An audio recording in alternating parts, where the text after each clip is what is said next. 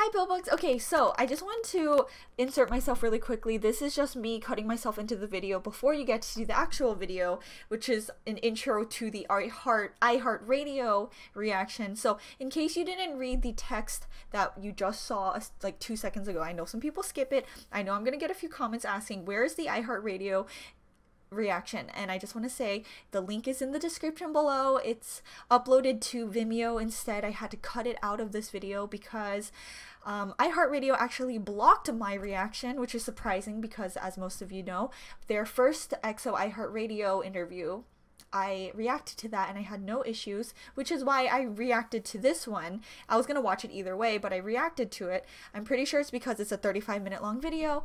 Um, as soon as I try to upload this whole this full video, which if you combine this section of the video that's currently on YouTube and the actual reaction, it's an hour and 30 minutes long.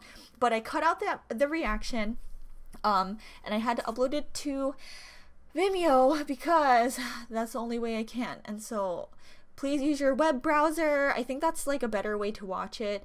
Um, if you watch it like on your laptop or your PC or whatever. And I think you can also download it at a lower quality. Some people had issues downloading it.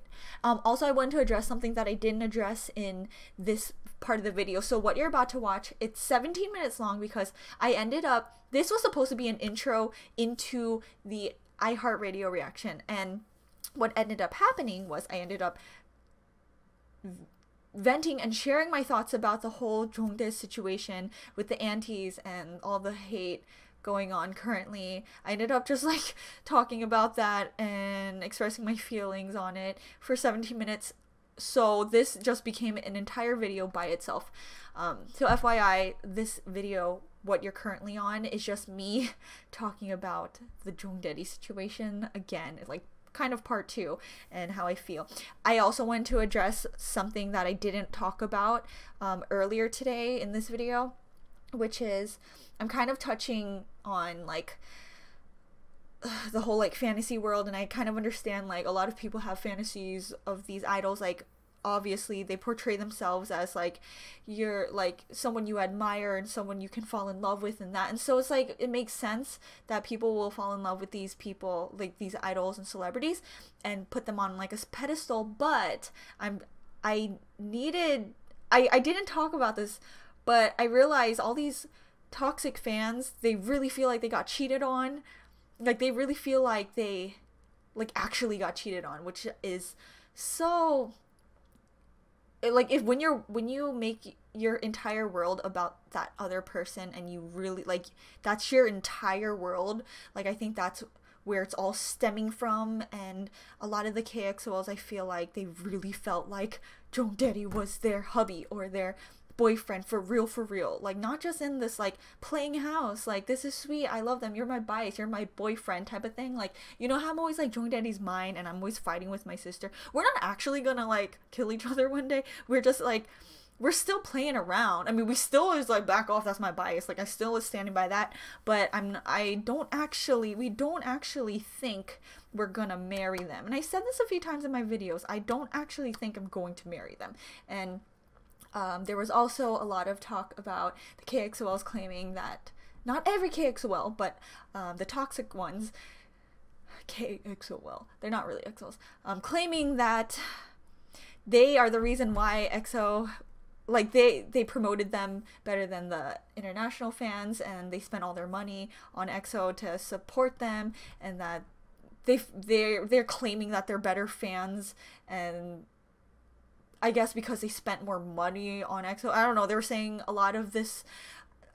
I don't even think those stats are right. Like, I feel like as a collective, like, the international fans have probably helped with the sales as well like equally i don't know. I don't i don't have the stats but just to say that you're a better fan because you spent more money makes no sense. Even if those stats happen to be true or something um you spending money on an artist doesn't make you a better fan. You using your money on certain things doesn't make you a better human.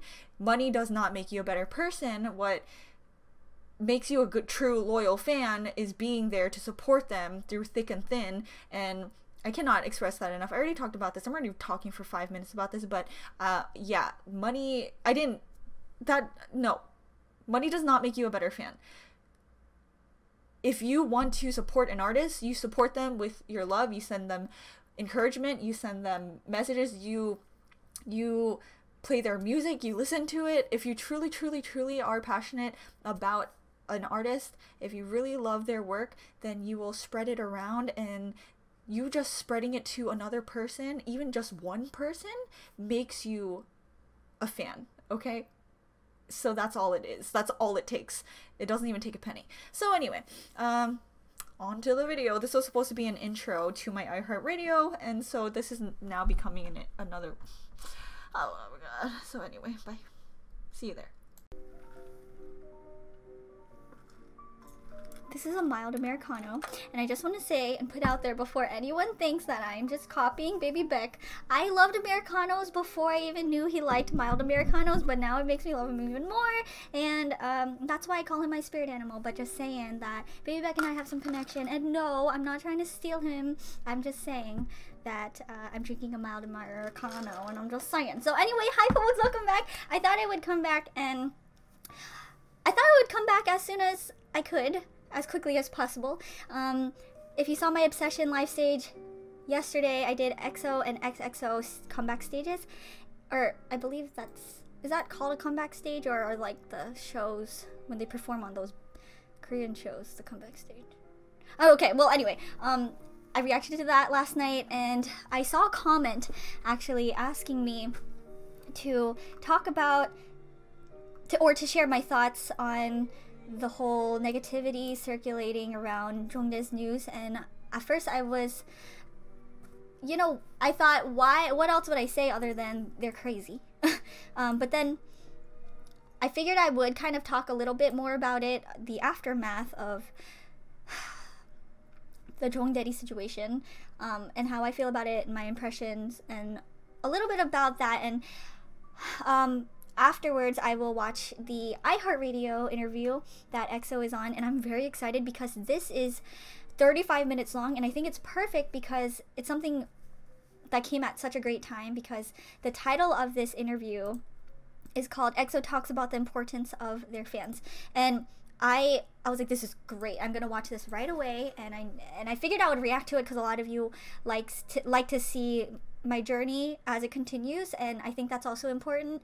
Um, not just like to be entertaining or whatever i don't think i'm very entertaining at all but just like to share my thoughts and opinions and a lot of you like it when i see more of their personality um, the inside you know because that's what matters and this is what i'm about to talk, talk about. I was very very alarmed. The past few days after i, I made that video about Jongdae, um, him announcing his girlfriend, fiance, and a blessing, you know. um, after that, I saw so many positive comments under my video and how you all felt that pretty much exactly how I felt. Um, uh, and I felt so much, I saw so much love and support, and that made me so happy. But then I decided I'd finally, I, I would talk more about it because there is so much negativity and hate still going on about Chen. And it's like, it doesn't make any sense. So I'm gonna talk, I'm gonna rant and I need to vent a little bit. I, I held my stomach as if I'm pregnant or something. Maybe I'm the baby mom. I'm just kidding, I'm kidding. But I want to like let you guys know how I feel because somebody asked me to share my thoughts and I thought, yeah, why not? Um, even if one person is interested, that's what I'm here for. And so, um, okay, let me start with last night. So y'all know I use Twitter religiously. And I woke up around 1 a.m. S- some something a group of people were so loud i couldn't freaking sleep anymore and i woke up i was like what is that noise and i check i i open my twitter app and i see boom right in my face number one worldwide trend is kexol's don't represent me and i was like whoa what is happening? That loud, loud, loud group of people were EXO-Ls. And I'm like, holy shit, let me get in on this because I need to know what's happening. So I click on it. And of course, I under- already understood what it was about. It's a lot of KEXOLs where they are spreading around so many hateful tags asking Chen to leave the group. And they're just being so toxic. They're spreading so much hate. And it's so frustrating to see the betrayal the betrayal from these people, these EXO-Ls, so ugly, so disgusting to see, and it it is also so hurtful because this is not every single KEXOL, but they're representing a huge group of KEXOLs. Like the toxic ones are the very loud ones, you know, Eh, but we can be louder. So to to see that the KEXOL just don't represent me tag trending number one worldwide, it got me so like if it made me feel so warm because you can just see the amount of support and love through that tag because when you click on it you can just see that there's so many people like no that is not a true fan. If you're gonna show hate and like that why am i crying? Just that's like story of my life. Why am i crying?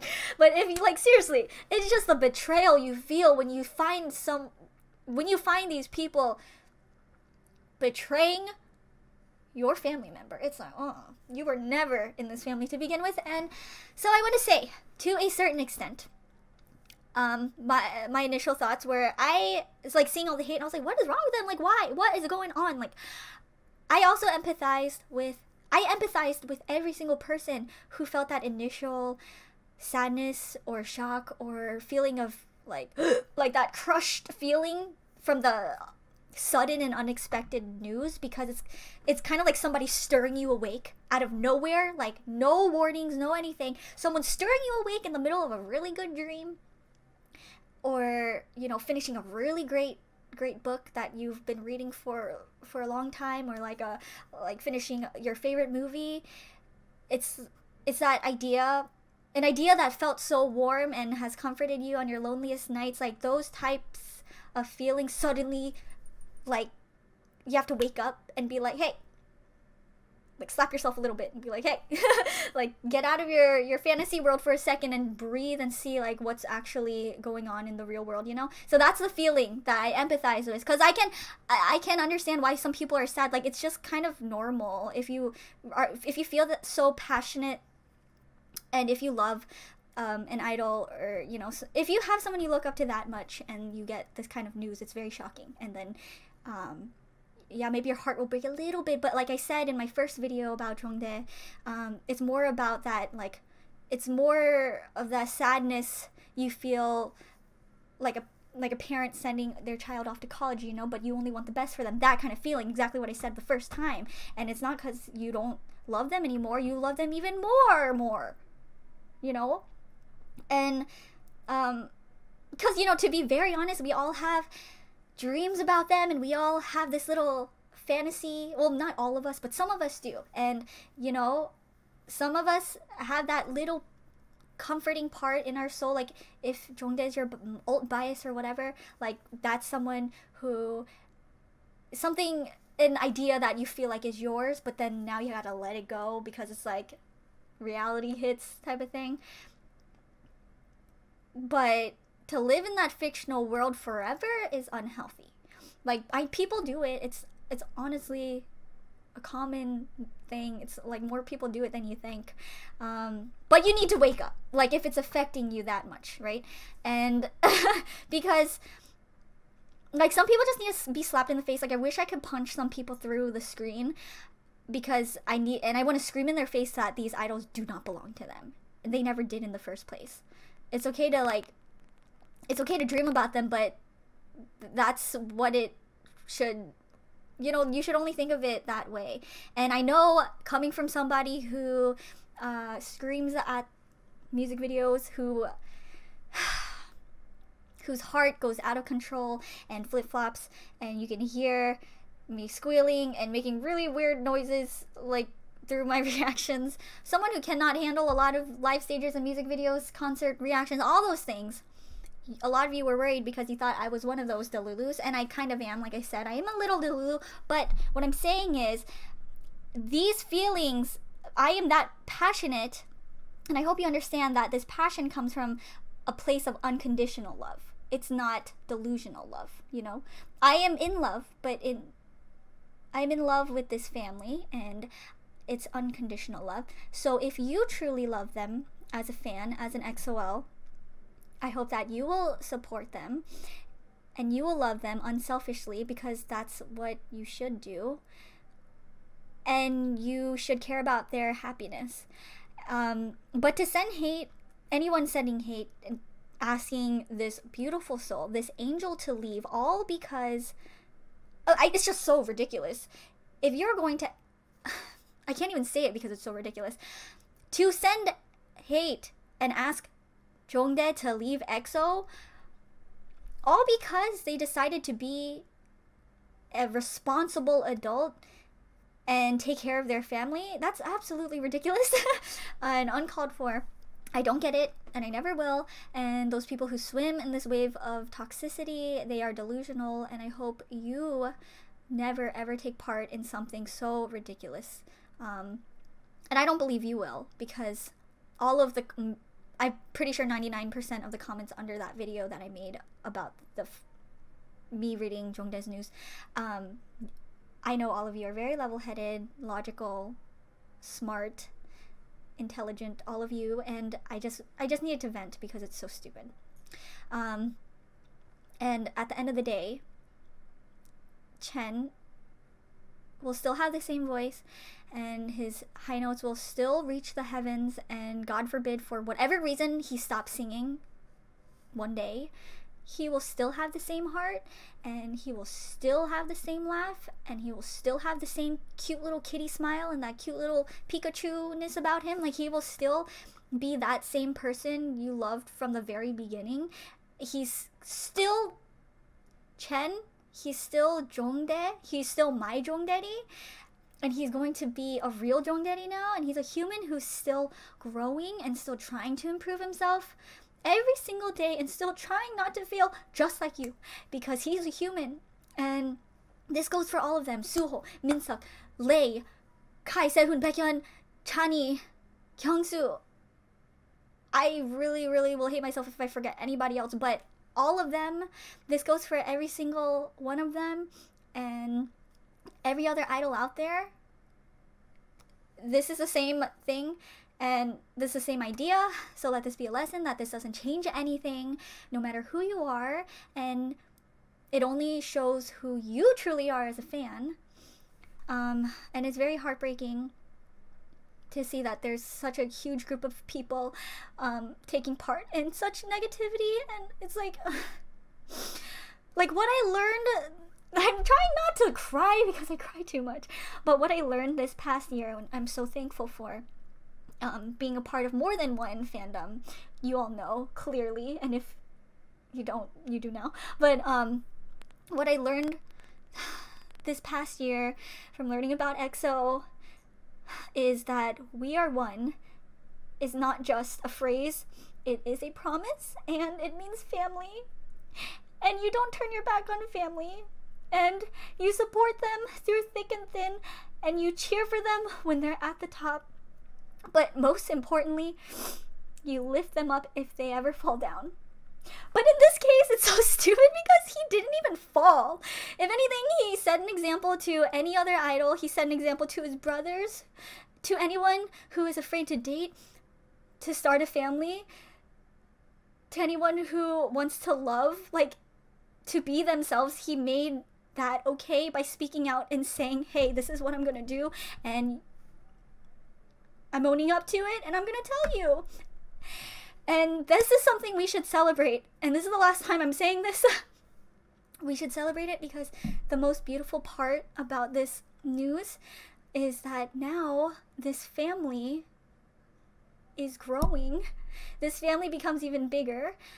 And I said this in my pin comment. Um, I wrote this in my pin comment, but I never said it out loud. But like, please, please put it in your mind please really, really, really understand and really soak this in that the most precious human on earth is about to be blessed with the most precious gift of life. Honestly, that is the most beautiful thing.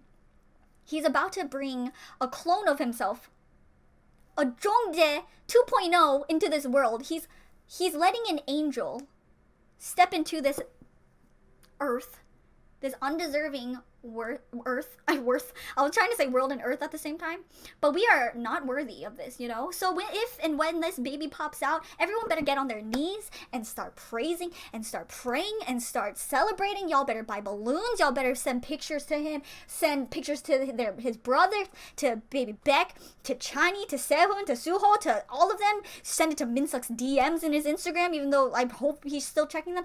Email dio email jong daddy the jong daddy email Lay. I mean, he has a Twitter. But y'all, this should be a celebration. And I know I've been ranting about this for almost oh over six now 16 minutes. But please, this is a precious gift and I would like to congratulate Chen Jongdae, my Jongdaddy. He will always be my Jongdaddy. Like I tweeted out, Jongdaddy was Jongdaddy even be- before he became a Jongdaddy. Jongdaddy has always been a Jongdaddy. He he became a Jongdaddy and now he's a real life Jongdaddy, which makes him a hot dilf.